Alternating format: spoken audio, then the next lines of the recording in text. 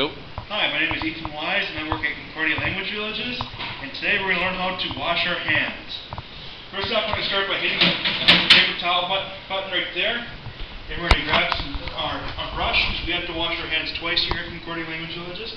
We're going to take the soap, we're going to put some on the brush, and we're going to get our hands lathered up. You want the water to be warm. You're going to take your fingers, you're going to start just cleaning off your nails. Get them good and clean, so we get all the dirt and grime off them. And get all that, stuff, that dirt so we don't get everybody sick. We'll then finish and we'll rinse our hands and the brush.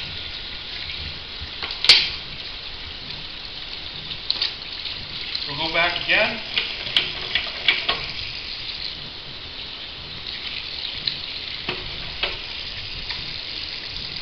and lather our hands.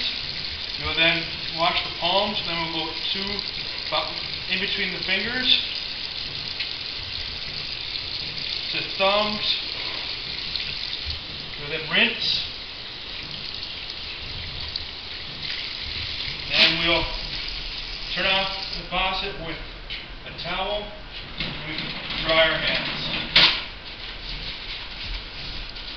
And that's how you wash your hands you anything religious.